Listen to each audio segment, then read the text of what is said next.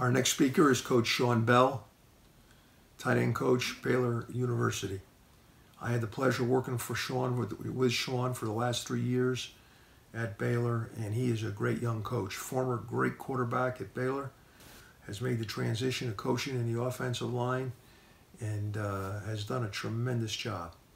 He's a bright young guy, coached at five, head coach at five different high schools in the state of Texas, and that means a lot. Uh, Shawn's topic today is going to be gap schemes from a wing. And uh, this is something that he uh, has done a great job with at, uh, at Baylor. And uh, I think you'll get a great job of it as a way to run the ball when you have to run the ball. Shawn Bell, Baylor University. Hey, fellas, Coach Shawn Bell here from Baylor University. I am now the tight ends coach. The past two years, I've served as the offensive line coach under Coach Rhule and worked alongside Coach DeLeone, and it's a treat and a privilege to be here. I know last clinic I got a ton of stuff out of it, and I know you guys are anxious to see what all's in store from me and, and the clinic speakers today. So I want to start with a special thanks to Coach Aranda for allowing this clinic to continue. I know it's a new one this year with uh, all the things going on in the country and things going on uh, in you know where you're at. So I pray that your families are safe, you're healthy, but also get hope that you're getting good quality time with them and uh, hope you also get something great out of this clinic. And guys that don't know Coach DeLeone very well, um, I hope you know that that I thought I loved football, knew football, cared about football, and then I met Coach DeLeone. He taught me what that really meant, and he's a guy I've learned so much from in the last three years. Really cherish his friendship and his mentorship, and I know that uh, you know I've really grown as a coach because of him. So to speak on it on Baylor's behalf in this clinic today that represents him and has his name on it really means a lot he asked me to speak about uh, his favorite play of football, guys that know him and have been around him. This is his favorite play, so that's also an honor. You know, every week as we game plan, this play was up because it's good against everybody. It's good against anything, and uh, Coach DeLeone is a firm believer of this play. And, and, this play led to us adapting it to, to fit our offense, and we've changed it and, and, and kind of morphed it into what fit us.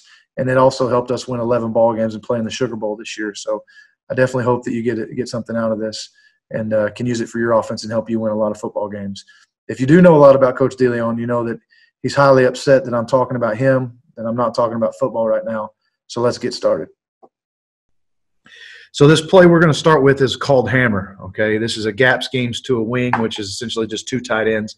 Um, our it started for us three years ago when Coach Rhule took over here at Baylor. He brought this play in from Temple, and it started as a short yardage goal line play for us. And we called it hammer, to where we're running it to a wing. It was 22 personnel run, heavy run, and we had great success with it our first two years. Well, as we as our offense changed and as teams kind of got familiar with us, we had to kind of change who we were offensively at times and adapt uh, that play to our offense. And how we did that was we morphed it into these two things here at the bottom. We morphed it into RPOs off the QB running the power. So we get out of 22 personnel and getting 12 personnel and run the exact same play, but with the quarterback, and then allow RPOs on the perimeter to where people had to cover our threats at wideout, but still have that hardcore run action at you. And then also implemented it into a wing uh, where we ran the counter with an RPO. And we'll talk about all those things today. So, like I said, it kind of started as a short yardage goal line package for us. And you're going to see some great clips of it um, there. And we were in 22, 23 personnel. And then it, and then it just developed into something that I think was was very successful and helped us help lead us to the Sugar Bowl last year. So so let's talk about the hammer play, Coach DeLeone's play. Uh, it's a 22 or could be a 23 personnel gap scheme play, just essentially power. Okay, and we want to talk about why. So a lot of people are wondering why. Why would you ever get in 22 personnel? Why would you get in 23 personnel? Why would you run this play? Okay. Well, the first thing is is a guaranteed run, right? In today's offense, I know we got a lot of guys on here that are RPO guys. We've got you know it's an O line clinic, but I know a lot of you guys are out there and, and your offensive coordinators or even quarterback coaches and you're in an RPO heavy offense to where the defense can dictate to you if you run the football or not. Well, this play is a play where you know you're running the football. It's a guaranteed handoff, and there's certain situations to where you're going to have to run the football. You know, I coached high school football for a long time before uh, I had the opportunity to move up into the college ranks, and I always thought to win a championship you had to run the football for a multitude of reasons, but one of those, quite simply, is it's going to get cold, and you had to be able to run it. And there you're going to be, you know, it's going to be fourth and one. You got to be able to run it. It's going to be, you know, four minute offense. You're going to have to run it. Well, Hammer provides you an opportunity where they know it, you know it, Everybody knows you're running the football, and you can still guarantee the run and be successful. It allows your offensive linemen, tight ends, fullbacks to come rocking off the football. You know, it's a gap scheme. Obviously, there's not a ton of thinking to it. There's not a lot of processing going to it. It allows you to really rock off the football and create that physical mindset you want in your program and you want from your offensive line. It also allows you to match up numbers in the run game. You know, as you pull around there in one back power, you're blocking six for six, and two back power, you're blocking sevens for seven. Well, in this in this instance here, you know, a lot of times our guards pulling around for the safety, and we're getting hats on hats and uh, really getting everybody accounted for in the run game. And then last, it's creating extra gaps. It's uh, you know, the defense has to adjust on the move to a tight end and now a wing. So you've created two new gaps. Now a fullback who's kicking out, a pulling guard which is inserting and creating two extra gaps. So I think that uh, you know, with all the moving parts, and you're going to see some clips here to where we didn't block it right. You know, the defense fitted up correctly, but with all the moving parts and and and all the all the things coming at them, they didn't make the play, and it, it, led to big runs and big plays for our offense. So I know you got a lot of guys out there probably can play with a tight end. Probably can't even count to 22 to get in 22 personnel. But I think uh, this is a play I've really enjoyed to learn. And I think as you learn the basis of the beginning of the play, you can create it and mold it to where it can match your offense like we did. So this is our hammer play again. Uh, two years ago with, with Jalen Hurd, averaged 4.5 yards a carry. Uh, we that's the most we ran it was uh, in in 18. We ran it 36 times, 69% efficient. Uh, we and when, when we when we chart our runs, we look at really two things for efficient runs. One, if it's a first down or base down, uh, we're trying to get four plus yards. That means it got more than four yards or more, or it reached the goal for that down. For instance, it was third and one, we got two. You know, fourth and one, we got three. So it, it reached our goal for that down and distance, or was efficient uh, by getting four or plus yards. So 69% of the times we ran it. And the good thing was, like I said, a lot of these were ran in you know four minute situations and, and run down situations. We know we're running it, they know we're running it, and we're still highly efficient in what we did.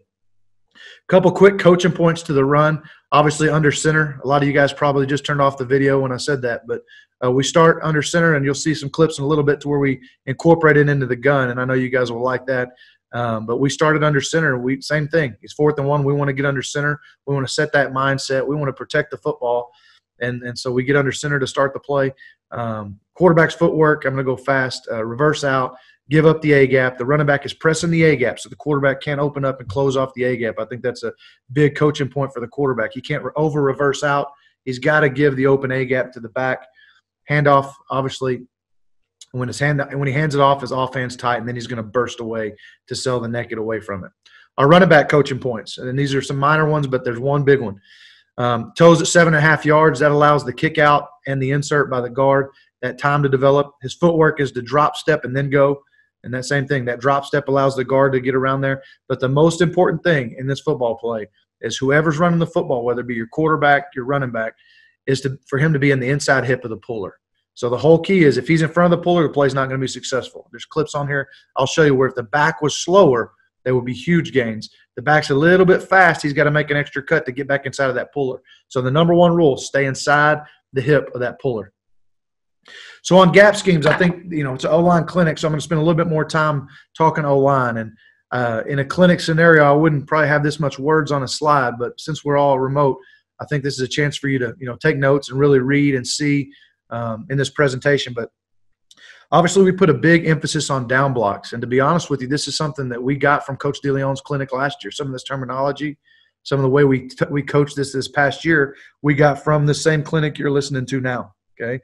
So on our down blocks on the front side of our gap scheme, the most important two things that we want to do is we want to stop penetration and eliminate crossface. Very simple. Stop penetration and eliminate crossface.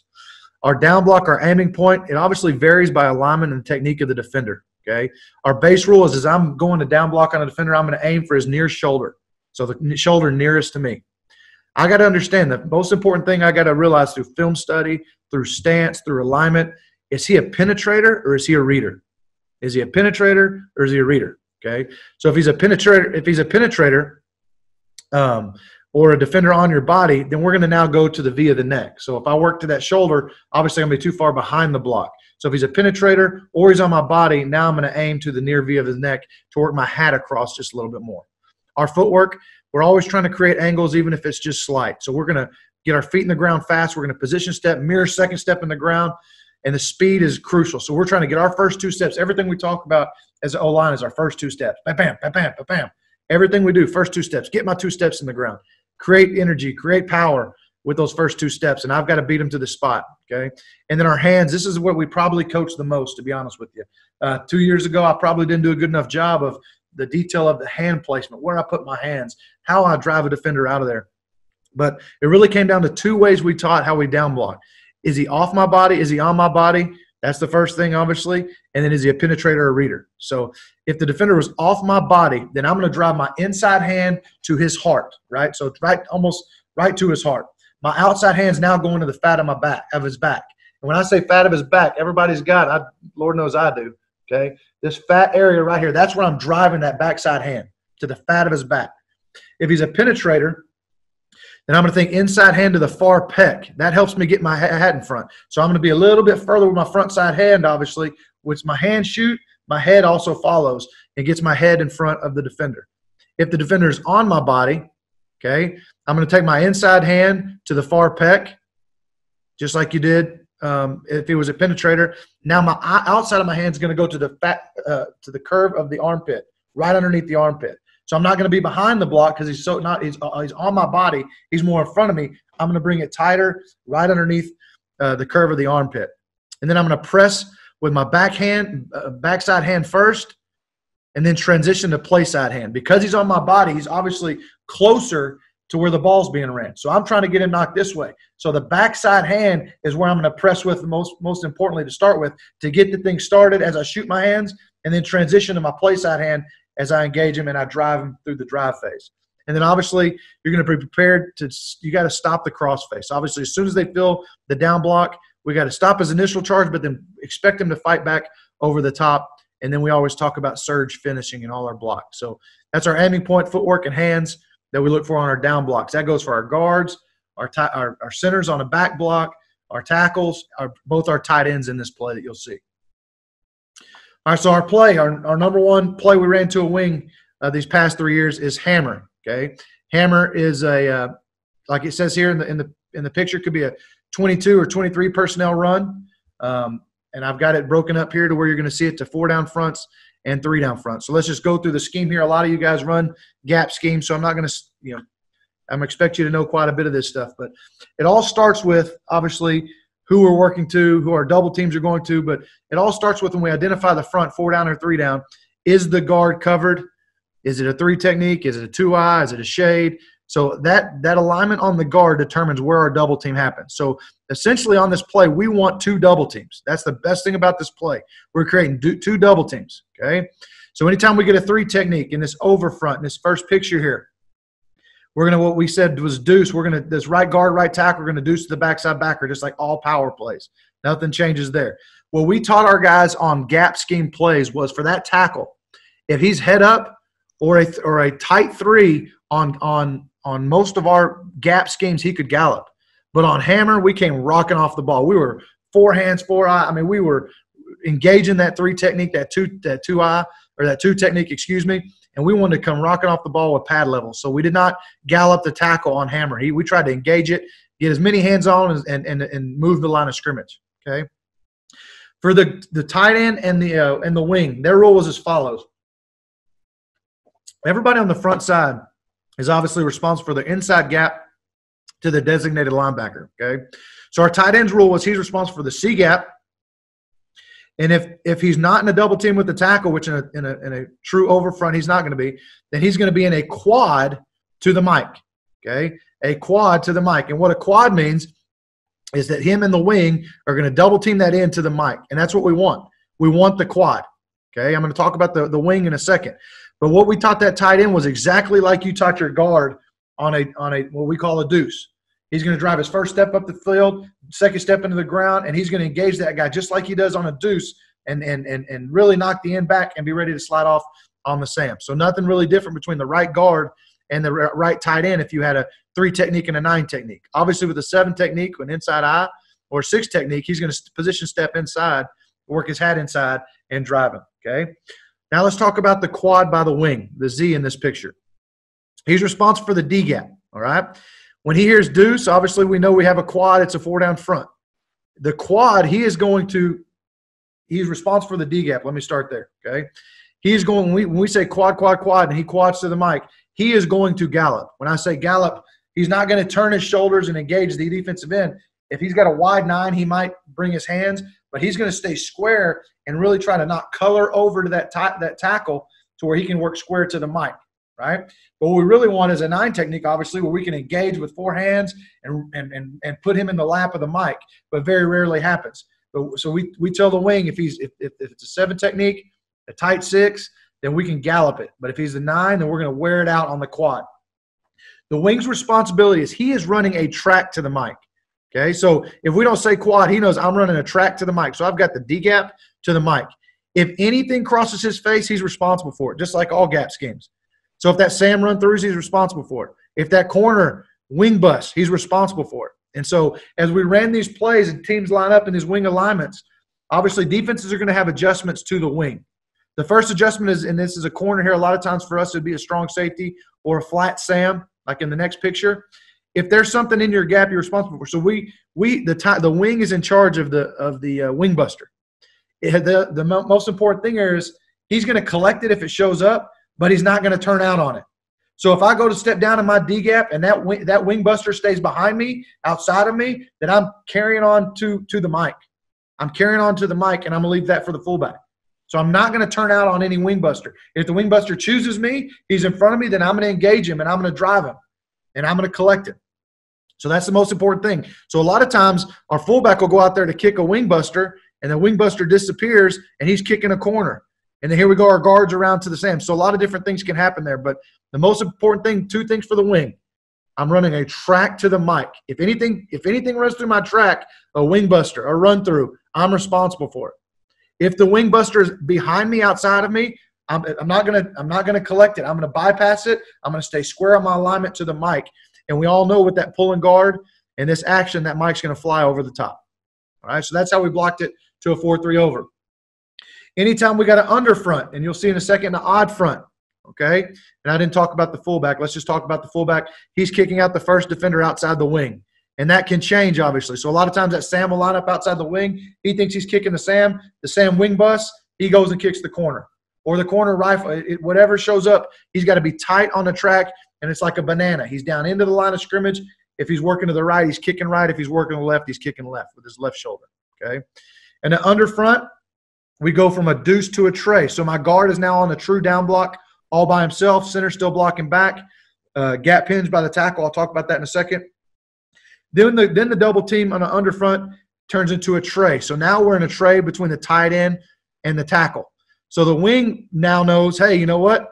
I didn't I didn't get a quad call. I'm not involved in the double team. So I'm running a track to the mic. On my track, if the Sam wing bust, I collect the Sam. I'm going to engage it. I'm going to knock it back. I'm responsible for the Sam. If the Sam stays outside, the fullback will kick it, and I'll run my track to my mic, just like we talked about in a second. So let's talk about this gap hinge. So what we're telling this backside tackle on this gap hinge is is a three-step progression. So he's going to step first flat and lateral with his inside foot immediately. Okay, so he's going to step first flat with that inside foot, then bring his set, gather his second step. Okay, and on the third step, he's pivoting out. You're going to see a couple reps of this. So it's a three-step progression we taught him um, when we were doing we were doing our uh, gap hinge on the backside. And so what our purpose is on that hinge, and you guys all run power, you know this, but he's taking responsibility for any B gap run through or backside run through. And he's also allowing if we have a backside three technique for the center to get back there. So you'll see that three step progression as we go through the film. All right, so here's a couple looks at, uh, you know, as you learn about this play, as this play evolved, you know, you look at the scoreboard, it's it was a four minute offense for us. It was a short yardage offense for us, play for us, and sometimes we would just call it in the middle of the game when we really want to set a tone. And so here's an instance towards the end of the game where we're trying to set the tone and really, you know, put the hammer down on on Vandy and. Um, so we call hammer, and so here it is out of 22 personnel. You're going to see it in multitude of uh, formations. You're going to see it in 23 personnel. You're going to see it with X over and unbalanced formation. But here's here's the basics of the play. All right. So to start with, as you see here to the right over here, you know a lot of you guys may say, "Hey, coach, this is a great play, but I got you know I want to be powerful. I want to be under center, but I really don't have more than one tight end. So what we we had the same problem, and what we decided to do was to put a sixth lineman in the game. You can put that sixth lineman in as a tight end, or you can move your you know best maybe down blocking uh, tight end type tackle, and then put the sixth lineman as the backside tackle, which we did in this instance. And so um, here's the play. Here's Hammer, and then also same thing with fullback. You know, this is a guy that started it. Um, he started it defense for us, but we got a couple reps for him as, as ISO fullback and lead fullback and developed him into a fullback. We also had a our backup for this formation was a defensive lineman that we just trained for a few plays. And so here's a look at hammer to four down. What we told this guard on this deuce. So anytime it's four down, we were deucing. So we want to tell him with this inside foot, he's going to put it up, pick it up, and put it down as fast as he can. So he's driving this left foot as fast as he can up and down the field. Then his backside foot is going to drive through the crotch of the defender, just like you guys know from the post standpoint. All right. The, the right tackle here in this instance, he's going to drive his left foot, and then he wants to drive his third step to the crotch of the defender. So essentially, our goal is when we make contact on his third step and on his second step in the crotch of the defender, to be half a man on this this this three technique to move him backwards, okay, and knock him back. You'll see some of our clips is what you know is going to happen on the backside is they're going to flow, right? They're going to flow. So so many times as you teach this play, these double teams, the guys think that they need to go at that angle to, to the backside linebacker. When in actuality, it's always vertical. It is a vertical double team. He's going to fit over the top and meet you there. All right. So let's go through the play. Um, let's start at the left tackle here. Here's the gap hinge I talked about. So there's that three-step progression. There's no immediate B gap threat, but it's just a quick one, two, three, and then he's hinging on the backside. No B gap threat. The center's blocking back. The, the right guard gets a slant by the three. We've got movement. We'll talk about the, the, the wing here in a second. But we get movement on the front side here. So he collects the three, the right tackle. I like for him to get a little bit more square, but does a good job capturing the backside linebacker. Okay, let's go to the tight end in the wing. So the tight end lines up and he goes, okay, deuce, deuce, deuce. They should be thinking quad, quad to the to the linebacker. So they should be saying right now, quad to him. Boom, quad to him. However, like I told you, so many teams' adjustment to when you play these wing gap schemes is they're going to have a wing buster in the front side. So that quad may get used up by a wing buster. In this instance, there's the wing buster. Okay, I'd like for 76 to have his pads down. I'd like for his backside hand to be in the fat of his back, and this is exactly the down block we talked about. So see how he doesn't have his backside hand. 76, his right hand is so high. He's so worried about getting his head across that he's not worried about the backside hand and the and the and the fallback over the top. Not not bad by the wing on collecting the wing buster, and then the fullback's just running his track. So there's the fullback running his track. There's the kick out. The backside guard, we haven't talked about this pull. You know, I know a lot of you guys run power, you run counter. You tell this backside tack, this backside guard on the powers to skip pull. We told him to rip and run. The reason being is he's got to get around two double teams. Okay, he's got to get around a double team by the guard and tackle, and he's got to get around a quad. And then I want you as tight off that quad as you can be. I mean, you want to scrape the paint off the wing of that quad. And then he's pulling for play side linebacker. However, he could get used up by the wing, and if he does, then you're pulling for the safety. Okay, so as you pull around there, you're thinking play side linebacker, but you're going to block what happens. So in this instance, the play side linebacker gets used up by the by the kick out here. So he's running his track as the fullback, gets the kick out. The backside guard gets around the quad, squares it up. Now, he gets in this instance here to where that's his place side linebacker who's used up. One of the things we talk about on pull schemes, and this shows up in one back power, and it shows, shows up here as well, is if he's engaged and you see color, what we like to say is we use the term swab the hole. So if there's something in that gap right there, where's color, swab the hole, explode through color, and clean it up. Just clean up the hole. I thought the guard did a pretty good job here, just cleaning up the hole and then trying to go get more. And as you see here, because the back's patience, he's behind the backside guard. It really sorts out nicely to where we get a big football play. He picks up his feet there, have a chance to keep running. Obviously, with ball security is not a part of O line clinic, but you got to have it. Same play. Now we change it up just a little bit. Okay. Now we attach the backside tight end to make it a uh, uh, 23 personnel run for us. The only thing we told him on the backside was you're just in a gap hinge. So we have two gap hinges on the backside. Everything on the front side stays the same, and then we got a little bit of window dressing with this motion here, just to change up the look for the defense. Okay, let's start on the backside here. Backside tight end 99 was also a lineman. So we, we in this instance here we had seven linemen in the game for this short yardage, and this is fourth and one. Game on the line, fourth and one. We want to create an extra gap on the backside to where we can't get ran down. So here, let's talk through the play here. Okay, four down front.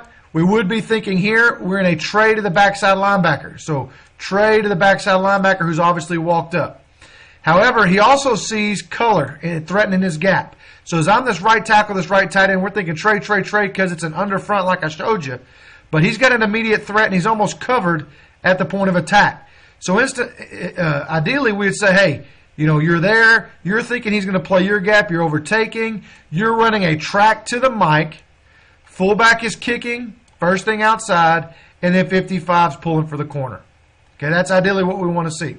Now, as you see on the backside here, this is a tremendous job by the backside tackle. Watch the backside tackle, 69. He has a B gap threat, a three technique, so he's thinking gap hinge, but then he has a backside run through. Well, then he's got to engage this three and overtake this three because the center is going to get used up by the run through, which is a great job by the backside tackle. Not great on our uh, on our tray here by 77. You see his feet die on contact, the right tackle. I like for his pad level to be fixed. And at 76, you'd like for him to have some awareness here. Okay? So because the, the, the wing and the tight end don't get used, they both get used up on the quad. We don't get the tight end engaged on the six, and the wing doesn't run a track to the mic. The pulling guard still pulls to his backer who he's pulling for.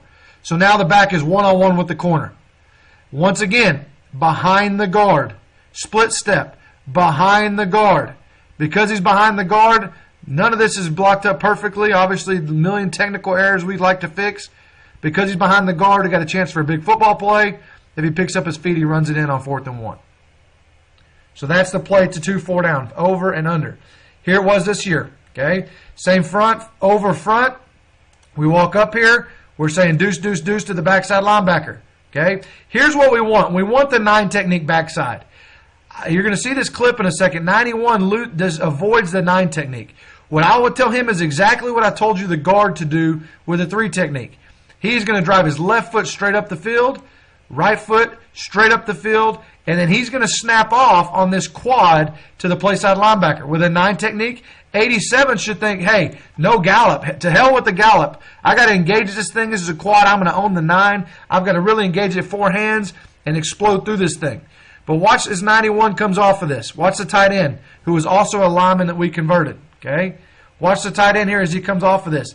He avoids the nine, so it puts the tight end in bind. But the good thing is the tight end doesn't allow penetration, which gives us a chance.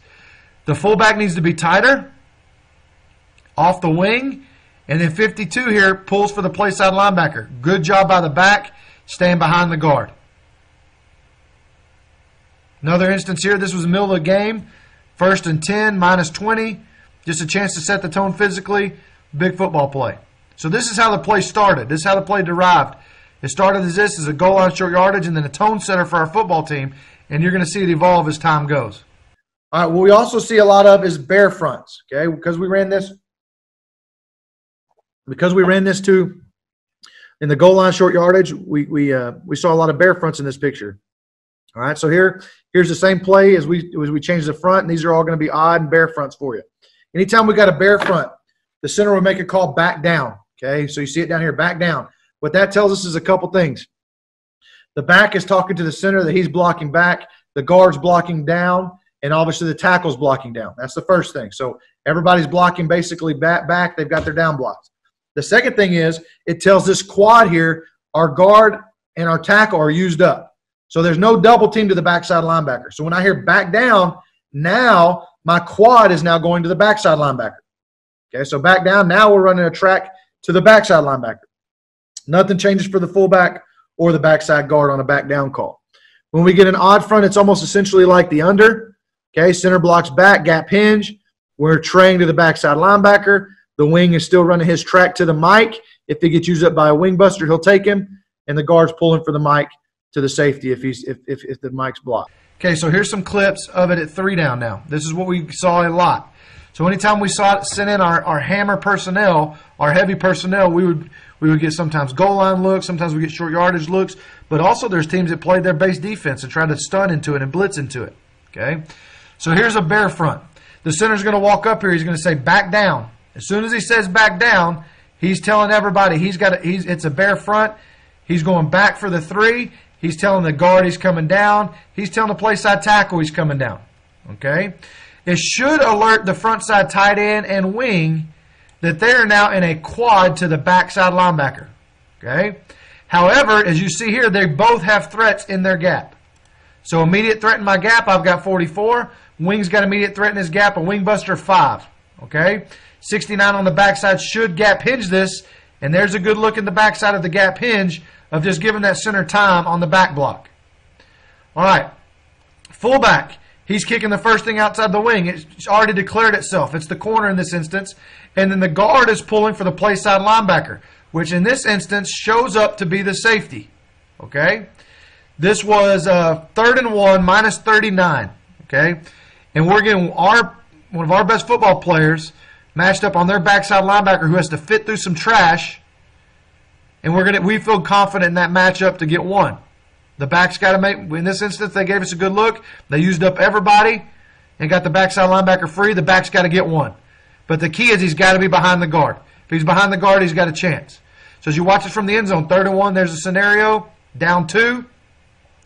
Got to convert. The back meets him for a first down. And it turns into an explosive and almost a touchdown. Explosive football out of 22 personnel and into a wing. Here it is, same year against uh, Iowa State. So here was their look. Okay, here was their look. They kind of came out in a bear look with mugged up linebackers. Okay, so exotic looks we're seeing here. Mugged up linebacker, mugged up linebacker. And what they were doing was they were keying the guard. As soon as the guard pulled, he's fitting over the top fast. As soon as his guard blocked down, he's fitting the gap as fast as he can. And then two's fitting over the top based on the fullback. Okay, so as you see this, we treated it as bear. We had to get this drawn up. This was the first clip of it. But we treated it as bear. Center blocks back. Okay? Back down. Tackles working down to 23. Down on three. He's running a track to the mic. Uh oh, wing buster. There he is. If he busts if he busts the wing, then I'm going to collect it. And then the guard is going to pull for what would be play side linebacker in this instance shows to, to be two. So here it is. Gap hinge on the backside, just like always.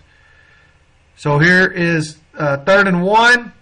Because the back is behind the guard, I don't like the pull by the guard. I have way too much space between him and the wing. But because the back is behind the guard and patient, the backside linebacker, by the way, this is a safety. This is a safety. So this is their base personnel. They're asking their safety to come down here and play big boy football, keying guards, playing like a linebacker, and it fit this thing perfectly on third and one. I like the matchup of a 220, 230 pound running back on a backside safety for one yard. Here, the backside safety overruns it. Another explosive on third and one into a wing. Here it is from the sideline. Pretty good job by the tight end on the wing buster engaging this.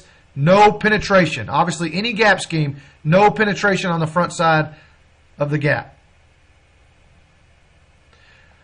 Okay, another way to incorporate this is using unbalanced sets. Okay, what I like about unbalanced sets is we did multiple things out of this, and I'll talk about it when I go to the end zone. But the unbalanced set, they still got to they still got to occupy, they still got to account for our mismatch out there. So if they're going to go one on one, we're going to take our shot. Okay. The other thing it does is it pulls some of the contained uh, force defenders out in the run game. So now you know, they, they work it to this set, and the corner's the force, and then the safety's the force, and then we go X across. That pulls the corner and the safety, and now they got to fit it differently. So this was another thing we like to do. So there's just a look at it in an unbalanced set. He's in an MDM out there. He's in a push crack, uh, the corner of the safety. So let's go to the end zone. Out of this formation, I mentioned it a second ago, we would do different things, and not just out of unbalanced, but you know if you overloaded, we would run, you know, the, the, the hammer top, hammer flip to where we sell hammer, pull the guard, jab step, and then we're pitching it out the back door like some of you guys see. We run weak side ISO. We would take our shot to the X, whether it be an unbalanced or not unbalanced. But in this instance, we went unbalanced and just ran the hammer play. All right, so let's dial this up. Same thing, bear front. We treated it as bear. Back down, back down. You're down. Tack, tight ends down. Now, I want you to watch this. Here's the whole key to the play. 87 is running a track to two, but you saw in the last clip, same game, okay, same game, he got chosen by the wingbuster, okay? So he got chosen by the wingbuster. So watch 87 how he doesn't track to the mic. He's kind of slow. Is he wing busting? Is he not wing busting? And this kills us. It's a detriment to the play for two reasons. Okay, he makes everything cloudy. So number one, he's cloudy. Is he engaged? Is he not engaged? If he's behind me, let it go. Go get square up on the mic. If he's if he's in front of me, collect it. In this instance, he puts the fullback in no man's land and the backside guard in no man's land. I'd rather him right now run that track to the mic, hit, put hit two right underneath his chin strap with some urgency. Let 38 be tight, kick it out, and then 57's pulling for the safety, who we're also MDMing for. We get everything blocked. But watch the wing. This is key. He, number one, he's got to come off the stinking football. That's the first thing. Now let's watch 76, the tight end. No step with his first step. There's a little bit of a slant. Now he's worried about, he doesn't see this guy as a penetrator. He doesn't work his hat across, but it all starts with his footwork. No step with his first step. No step. Should be flat. He's a five technique. He's got to step flat with his left foot, work his hat across, and drive that right hand to the fat of the back. So 38's in no man's land, so we don't get the wing buster blocked. But the ball does bounce and give us a, a chance outside. Why? Because of the unbalanced formation. That's why I'm showing you the clip how it changes who fits. If this if this receiver was on the opposite side of the ball, a corner would be there fitting this thing up. But because we went unbalanced, now there's no force.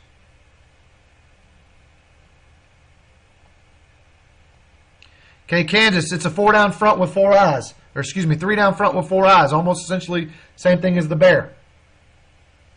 Okay, in this instance here, okay, back down, center's going back, guard's going down, tackle's going down. The tight end and wing should be quadding to the backside linebacker. There is no alert of a wing buster. The tight end right now knows, the wing knows there is no wing buster right here. Quad, quad, quad.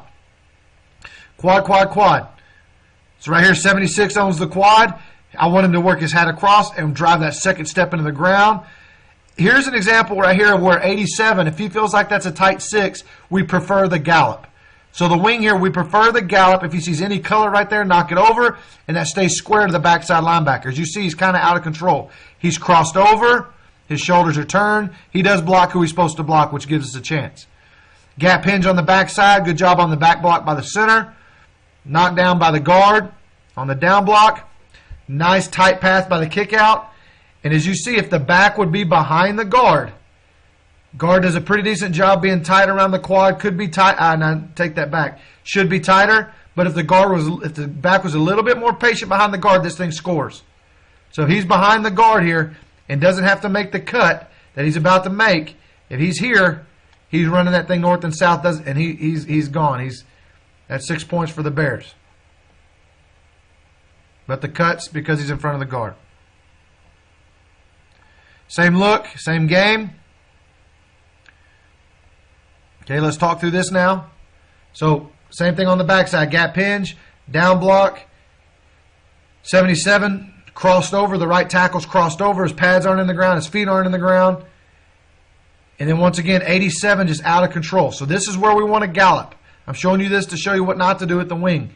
We want the wing to gallop with that head up six or an inside I-7 technique to stay square as he runs a track to the backside linebacker on this back down call. 55 locks on. This was third and one.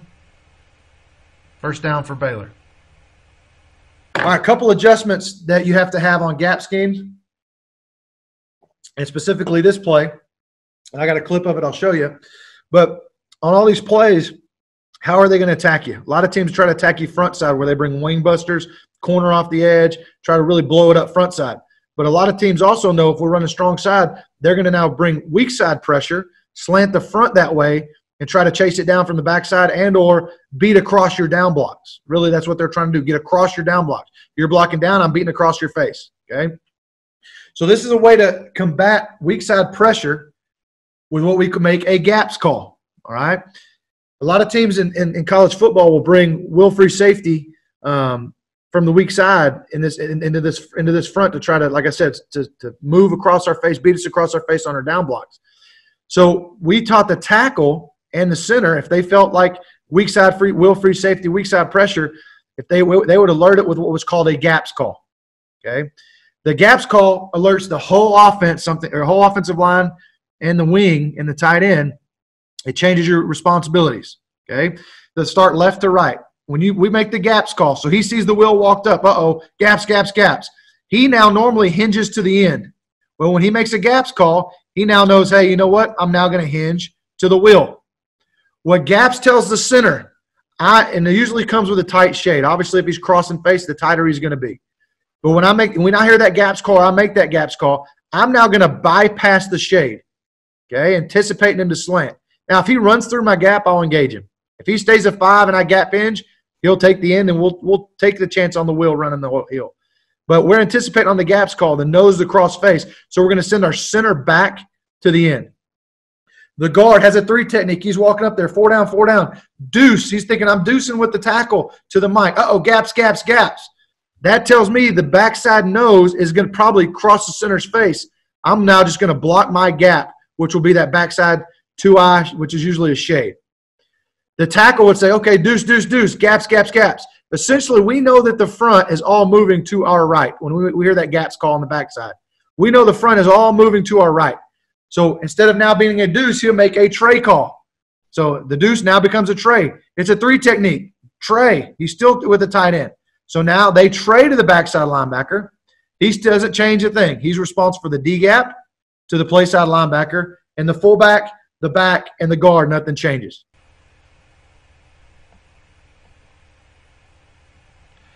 So here's a clip of the gaps call. Okay, as you start at the clip here, you look at the left tackle. We called this by either the center or the left tackle. If the center could ID it, he would. If the left tackle saw it, he would. So you see him pointing over here, 63. Look at the left tackle. Gaps, gaps, gaps. He's making the call. Alert pressure. Here comes pressure. Here comes will free safety. So let's go to the end zone here. Amazing thing, it doesn't matter what level you're at. Love this kid to death, 63. He makes the gaps call, which tells him that the end's pinching, center's blocking back, and then he should gap hinge off on 55, and then watch the knucklehead. So we're trying to really not get chased down by the backside. So the center gets the gaps call. Gaps alerts him. Okay, I got movement. I'm expecting the shade to cross face. I'm blocking back on the long stick. The guard gets the gaps call. He would walk up here and go deuce, deuce, deuce. But because of the gaps call, he knows the shade's probably crossing face. The shade's probably crossing face. He should he should be blocking back just like a back down.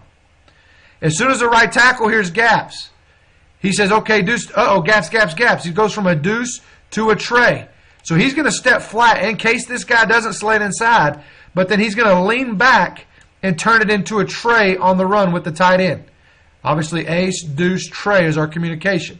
So then they're tr- traying all the way back. The tight end's running a track to the mic just like he always does. If the nine stays a nine, he'll collect it. If not, he'll run a track to five. So here's a look at the gaps call. Third and two, will free safety. And as you game plan teams, this isn't just for this play. This could be in any of our, you know, gap plays. We had this gaps call we used to get people off double teams and get people into gaps to help for movement. But teams are going to, how are they going to attack you? Teams are going to edge pressure you this way into the wing, try to blow it up. And then also they're going to try to chase it down on the backside and slant the front into the wing. So here's the backside slant with the gaps call. So there's the tray. Look at 77, the right tackle. He steps in case the guy doesn't slant. Then works his second step vertical, gives pressure for the tight end as he trays to the backside backer. I hate the wing here. How soft he is, how high he is, how as you watch his right hand.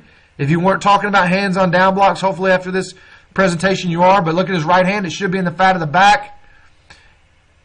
And that little bit of penetration knocks 57 off or else he'd have let up on that safety and we had a big play, probably ran this thing in for a touchdown. But there's the gaps call. So it's alert. As soon as I hear the gaps call, pressure's coming from the backside. We know movement should be working that way.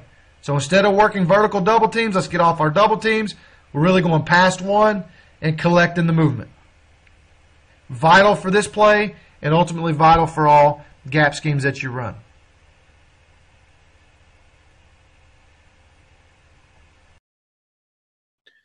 All right, so as we went into this year, so you saw a lot of those clips. A lot of those clips were uh, Jalen Hurd at running back two years ago. So as we went into this year, obviously Jalen had graduated, and we have some some weapons on the perimeter. Denzel Mims drafted uh, just last week, and we thought, how can we how can we create that that play you just saw and kind of incorporate our offense? Okay. Well, the first thing we thought of was this Q hammer. We had the play in, but we never really ran it, and it really helped our season this year. Um, but here's a, here's what it is, and we just called it hammer, but we just tagged Q, just like a lot of you guys probably do. The play is blocked exactly the same as hammer, nothing different. Our calls are the same. The wing does the same thing. The tight end does the same thing. The only thing that changes is obviously we're in 12 personnel, so we've got two receivers on the field that become weapons in the pass game. The QB becomes the runner. The running back just becomes the fullback. So you've got to have a willing running back that can be tied off the wing and kick out, and then a quarterback who can run the football, you know, know when to get down, take care of his bodies. But what it really allows you to do is it allows you to spread out the defense to where now you're getting the box that you want, but you can also still have these RPOs that you guys love in all the formations. So I, I have the Z highlighted here. We would run bubbles here. We would run smash down on the goal line. I'd show you. We'd run a, a, a post with that, and we'd run all our RPOs off this. If the quarterback liked it, he would say, "Hey," he'd, he'd drop back and just throw it. The quarterback didn't like it, he'd run it and and and run it. But this was a run first look. It had to be a layup for us to throw it. Okay, so the couple uh, a couple numbers here I think you'll appreciate. Okay, so the last just true hammer was 69%. This was 65% efficient, 11 to 17. And the ones that weren't efficient were four minute, and sometimes our twos were in. Um, and and it's kind of situations to where they knew we were running it, we knew we were running it, and because we're in 12 personnel, they may have got a little extra hat in there on us. Whereas uh, the 22 personnel, 23 personnel hammer may have been better. But here's the key: we went to this on third down, and seven out of seven on third down, seven out of seven on third down. So converted a, a ton. You guys, uh, if you follow our, our seasons the last two years, on third and one, you never had to know what we were going to call. We were going to call in fourth and one, we were going to call quarterback sneak every single time. Two years ago, we were 22 of 22 on quarterback sneak. Last year, we got stopped for the first time in two years. But we had one uh, one time quarterback sneak didn't work. So third and one, fourth and one, we knew what we were going to call. So we had to have a play third and two, you know, fourth and two, and this became that play for us. But it also allowed us to have weapons on the edge uh, to uh, to take advantage of the defense and spread them out. Okay, so here we are. First third down. I'm going to show you third and one against OU. Game on uh, zero to three. It's the first quarter, early in the game. We haven't shown this really. We haven't really ran Charlie much, but it's a way to obviously get an extra hat in the run game. Okay. So here, as we line up, this game we did it two different ways. You'll see it. We had the game plan to where we had a smash concept out here. If we got zero coverage or look or leverage that we liked or matchup that we liked, we had smash down here, and then we had Q hammer into the boundary. The quarterback in this instance, you'll see him, he fake claps, he looks to the sideline. This was called from us. So we said, hey, in this instance right here, it's first down. We, we, we're going to go with the run. Let's not force the throw. Let's guarantee a run here. Just like we always talk about, guarantee a run. So we, we wiped off the smash, don't throw it, and we went with the Q hammer. Let's look at the Q hammer. What I love about it is everybody's doing the exact same thing they do with the exception of the running back. So now all it is, running back now is replacing what the fullback would do. He's running his banana, kicking the first thing outside the wing. The quarterback now, shuffle, shuffle patiently, and just like the back, be behind, be inside hip of the backside guard. Nothing changes. Now you're the running back. So watch Charlie here. Shuffle, shuffle. I would like for him to be more patient. I like for him to be more patient inside hip of the guard. But you got to have a running back here that's willing to fit it up in there as well. Let's talk through the scheme now. Okay, they almost they went to a little overloaded front here. Place that guard. It's a under front here. So as we talk through this, he's down in the A gap. It should be a tray to the backside linebacker. He's running a track to the Mike. He's going to get used up by the um, by the wing buster, obviously, and everybody's going to get used up. You'll see this tight, tight track by the back, quarterback inside hip of the guard, get us a touchdown. So here's the tray. Good job by the play side tackle. Remember, he's in a tray to the backside backer, but he's responsible for anything in the B gap. Good job snapping off on the run through by 76, the left tackle. 91 engages the end, stays on him when the tackle slides off. Watch the wing here on the wing buster. Great job eliminating penetration. Look at his left hand. In the fat of the back, accelerating on contact, and getting the knockdown. I'd like for 55, the backside guard, to be way tighter here. If he's way tighter here, we probably walk this thing in with no no threat of Murray at all. But as you can see, that's a first round draft pick now, guys. He's got to fight through a lot of trash, two double teams usually, fit over the top, and then still have force to knock the runner back. So here's a quarterback matched up, a backside linebacker we don't even block. But he's got a lot of trash to fight through. So I'd like it ideally here, seven to be tighter. If seven's tighter, he's kicking out that safety. Okay, and then the backside guard's pulling around tight and would show up for nine. It's, it's like pizza theory, just like anything else, right? If he takes mine, then I'll take his. So it's it's it's a pizza theory here on this one. Quarterback should be a little bit slower. Same game, same play. Now we left it up to Charlie. Okay, smash up top. He didn't like the.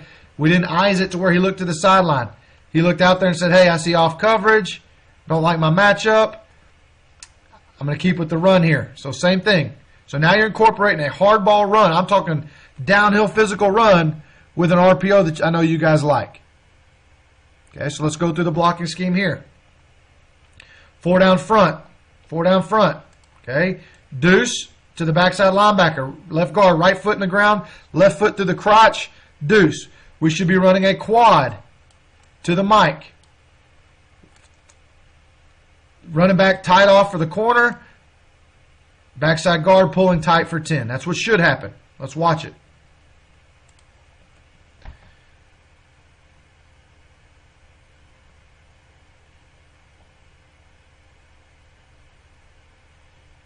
Okay, front side linebacker gets used up on the quad, which is what we want. Backside guard pulls for 10. We just don't get the deuce vertical enough. Deuce doesn't get vertical enough to the backside linebacker. But once again, he's fighting through two double teams. He's fighting through two double teams and a puller. We've created new gaps. We've created him a lot of traffic to fight through to try to make a tackle in a short yardage situation. Love the aggressiveness. Our guys love this play, and another play we'll talk about because a lot of times they're pulling for little guys. So 55 here is a big, pulling for a little, pulling for that safety there, 10.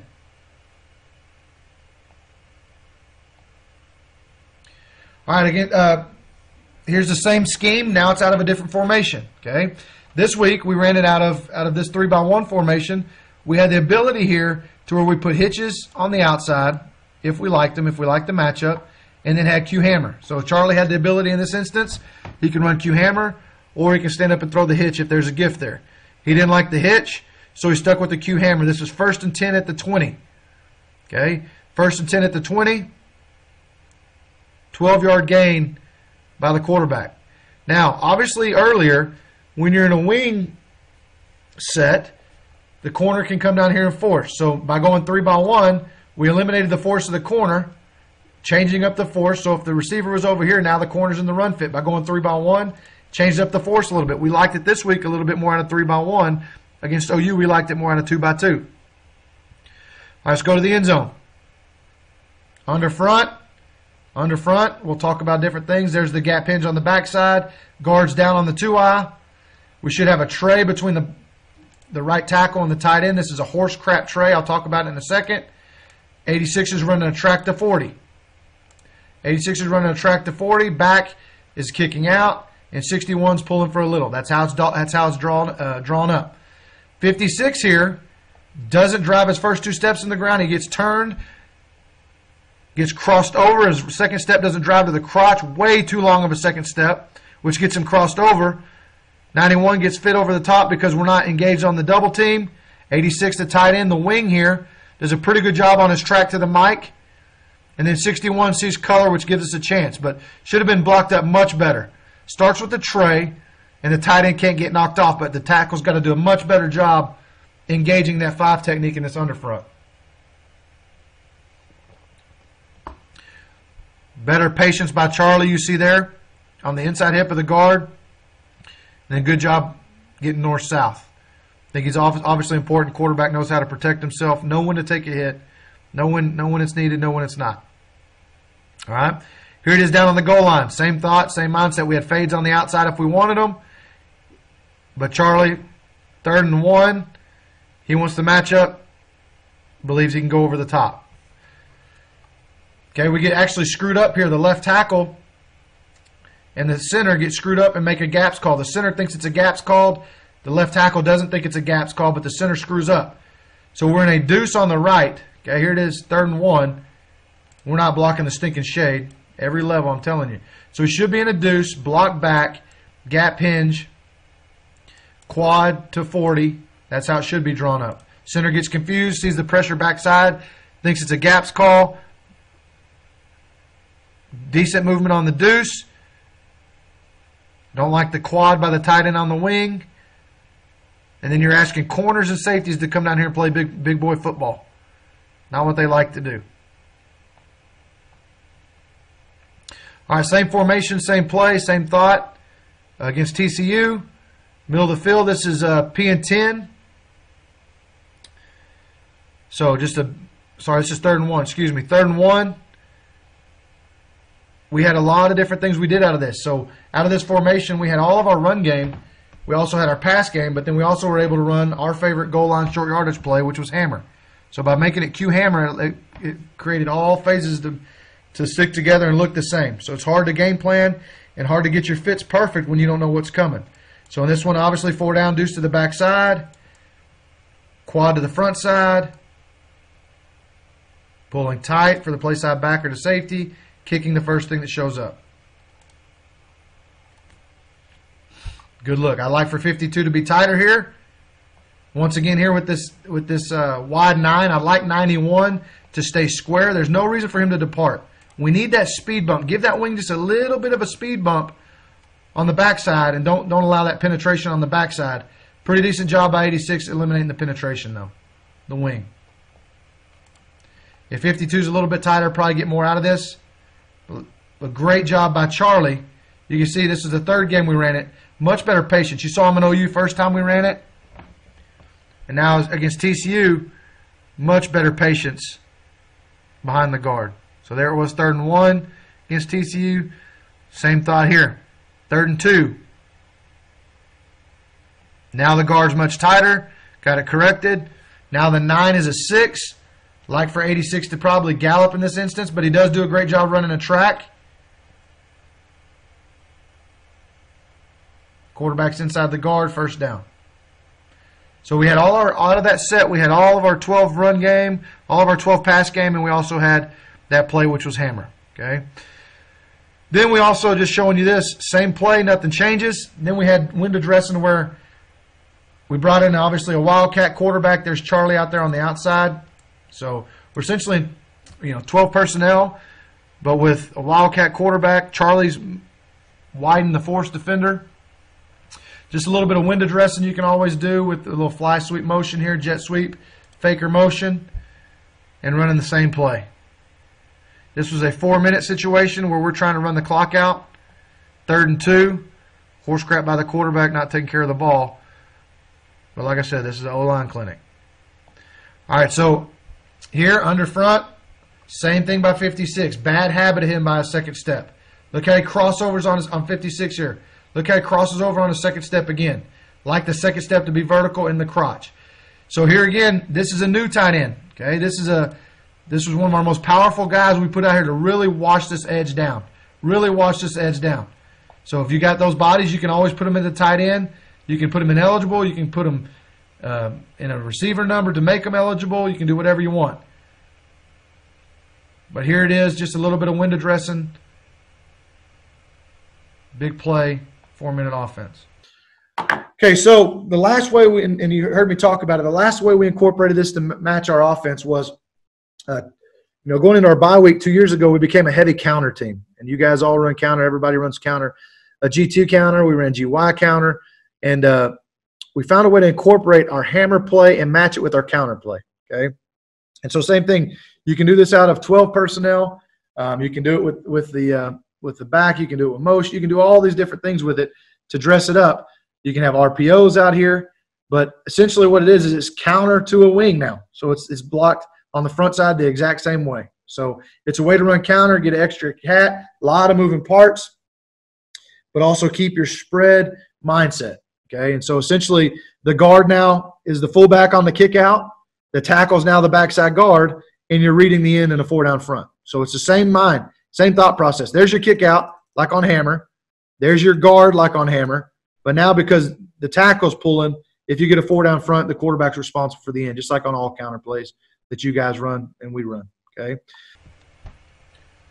Okay, so one of the good things we did last year, and I know that you know with Coach Aranda, Coach Fedora, we're going to continue to do, is we did a good job of matching our runs up based on the front. So we were getting different sets, and if there were two DBs to the boundary, we did this. If there was strong rotation, we did that.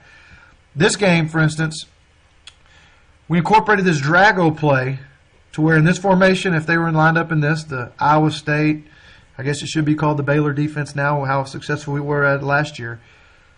This defense, we wanted to run Drago into it, which was our uh, counter play into a wing. Okay, so we get the look we want. We check to this. We the safety wasn't there. If they had you know an extra body down here, we were going to check something away from it. So we did a great job of pairing runs. And as you see this run, this there's not a better dialed up run you're going to find. Okay, so two by two wing into the boundary.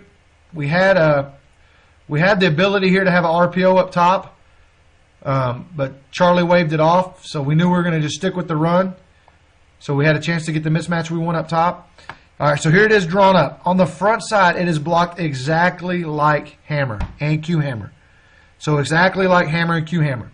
So in this instance, center's blocking back, odd, down. We're traying to the backside linebacker.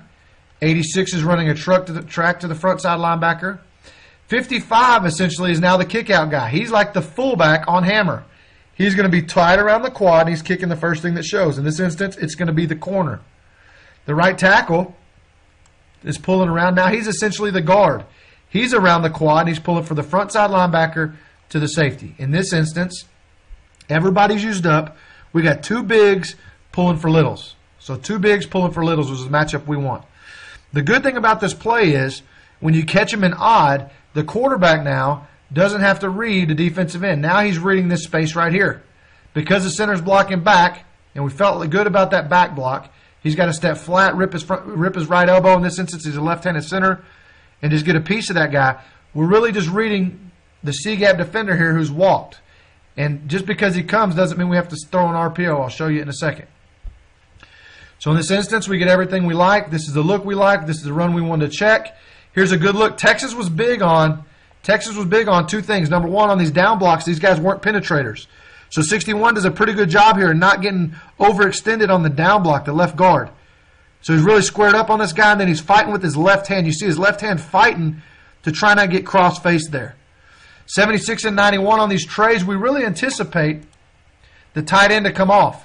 So we're really thinking that the tight end's going to come off on, on these plays because it's such hard flow with the counter action but the tackle's got to be ready to snap off in case of run through. Here's a good look at the tray. 76 collects it. 91 gets to the backside linebacker, and we're off and running. 55's tied off the uh, quad to kick out. There's a little. He doesn't want to come down here and play big boy football. Explode through him on contact. On these kickouts, we'd say, we'd say on these kickouts, if you pull left, you kick left, which that means just like the fullback. If you're pulling to your left, you want to kick with your left shoulder, and then we want to drive for five. So we want to drive for five steps after contact on kick out blocks on the counter. So as we accelerate, we'd say drive for five. Obviously, not a chance to drive because the corner's in a back pedal. Tackle gets around the quad, and he's pulling for the safety. Knocked down by the tackle. Great play. And then a great finish by the back. Now the back, instead of the guard, the difference between Drago is now he needs to be in the inside hip of the tackle. We talk to our guys on counter plays, and now I'm getting into counter. But we want the relationship of the guard, the tackle. I want him one yard behind him and one yard deep. And then the back is one yard behind him, one yard deep. So it's like a staircase. So here's my guard. I want my, my tackle to be one by one, not bad relationship there. And then I want the back one by one behind him. So as you see this relationship by the back here, we're stacked. If he's behind it, he probably doesn't have to make that cut, and the ball just runs outside. But I'm not going to complain about touchdowns. You'll see here in a second. So on counter, we tell our guard and our tackle one by one, and then the back one by one, like that staircase there. So I'll show you that from the end zone. So here it is from the end zone. There's the kick out. Great finish by the tackle. And like I said, our guys love when they heard Drago and they heard Hammer. The pull was wider, so they really could rip and run, and also gave them a chance to pull for little guys, which they liked. All right, here's the, here's the Drago, the counter um, into the wing to four down. Okay, so you saw the look to four down. Here it is. So the the key to when you want to run this play is two things. Okay, one, do I want the ball in this guy's hands? So a lot of times they can dictate if it's in his hands, obviously in a four down counter by chasing the backside in. So if your quarterback's not a runner, this is probably more of a three down run for you. If the quarterback's not a runner, then the defensive end, if they're reading defensive ends, then obviously it's a good run. So as you look at this play for you, the one negative to this play is they can keep the ball in the quarterback's hand, as you guys understand, on a GT play. So nothing changes on the front side. Deuce to the backside linebacker. Okay, uh, you see that angle right there? That's my. You're, you're going to see why that's bad coaching. So I hate that I just did that. I, I'm showing you who they're working to, but that's why it's bad coaching. You're about to see it. If I drew it up like this, you would see it differently. These guys are running a quad to the front side linebacker. Guard is kicking. This is not a great play to show you, but it's it is what it is. And the tackle's all the way around the quad. So guard should be kicking the corner here.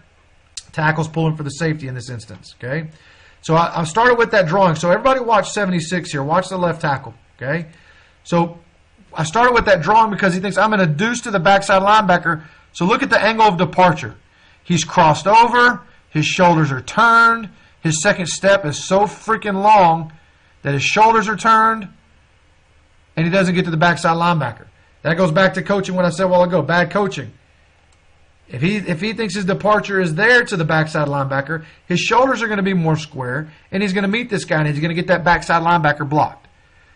There's the quad to the front side linebacker. We capture it.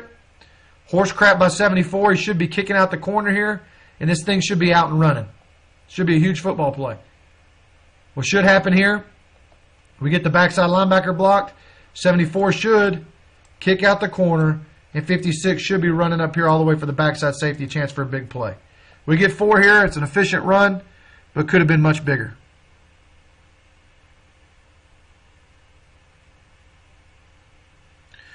All right, so I want to finish with this. And I think as you evaluate your offense, I think it's important to understand this, okay? So one of the things I like about Hammer and Q Hammer and Drago in this instance to three down is it guarantees a run. So I, I, I'm a firm believer in to win in football, you have to run the football. And I think as you look at our season last year, we won 11 games. The games that we won, we ran the football successfully. The games we didn't, we didn't. It's that simple. It came hand in hand for us.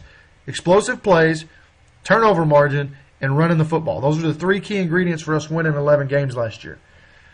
So hammer is a run where you can call it and run it. I don't care what front they're in, what defense they're in. You're going to get it called and ran. You're going to run it. There's going to be cold games. There's going to be wet games. There's going to be four minute offense. There's going to be fourth and ones to where you have to run the football. But I think so many times in offenses now we get so pretty to where, you know, we're trying to get we're trying to get the ball on the perimeter. We're trying to get the ball in space. We're trying to do this, trying to, and that's great. But sometimes we negate the fact the ability just to be able to run the football. So this clip's to just show you the play Drago, but it's also good learn to where you take for granted just handing the ball off. So in this instance here, our quarterback is taught just like you guys are. And as we as we, we installed the play, this was a, this was early for us. Charlie's still learning the play, the scheme. So we've got an RPO up top to where if we got the matchup we like, we're going to throw it. Obviously, the matchup's not great here, but because of the pressure here, Charlie gets used to in RPOs, edge pressure, get rid of the ball, we're outnumbered. But because of this play in this in the back block by the center, really what we can teach these guys, and this is a learning tool for us as coaches at Baylor and for you guys, is just treat the outside linebacker as a defensive end. So all these run plays, just treat him as a defensive end. If he can take the dive, then you got to pull it. If he can't take the dive, then hand the ball off. It's now a run read. It doesn't always have to be an RPO. And now you're getting the ball ran. So watch this instance. He sees pressure by that defender. He feels like we can get the block outside. The numbers aren't great up top. I feel like that safety's a little low for the RPO anyway. But I just want you to see when you get it against an odd front, how you can just run read the Sam in this instance, or the, the nickel Sam in this instance. And look at the box. Look at the box. Okay, so watch it from the end zone. So let's go through this play one more time. Back with the center. Okay, back with the center. And this goes back to what I was saying. The RPO teams, guys that think, you know, you can run read this guy. You can still hand the ball off, just treat him as a defensive end as long as you're blocking the four or five, like in this instance. So back with the center, down with the guard. We're going to trade to the backside linebacker. There's my wing buster. I like that matchup. We're going to we're going to accelerate through the wing buster. My guard's kicking the corner, and we're running another big for another little. We've got everybody blocked with the exception of this safety. But because of Charlie, obviously he sees what he sees, he throws the ball. But watch as this is dialed up. That's the matchup we want. Great job by the back, the play side tackle on the run through. So great job of him snapping off on the run through here. He's on a tray. Backside linebacker runs through, snapping off. We got everything we want. This thing's going to score. Look at that. But because of our trying to hang read and trying to put the ball in space, we did we took for granted the ability just to hand the ball off, and we went from probably a touchdown to like what looks to be a one yard gain here. So in your offense, and I know you guys are successful at everything you do, don't take for granted the ability just to hand the ball off and run the ball like you can in hammer, and drag Drago to three down, and Q hammer. You got to run the ball. These are plays that can win football games for you. Guys, I can't say enough to you how much it means to me to be a part of this clinic. Uh, Coach DeLeone is a tremendous mentor, a tremendous friend, and uh, just such a blessing to be a part of this. Here's my contact information. If there's anything I can ever do to help you, I know Coach Aranda and our staff, our doors are always open. There are no secrets here at Baylor University. We want to help you. We want to help your schools. We want to help you be the best you can be. And we also know you can help us in, in that same regard. Hope you and your family are staying safe during this time. I hope you enjoy this clinic. I know I, I can't wait to watch it. And uh, God bless. Sic 'em Bears.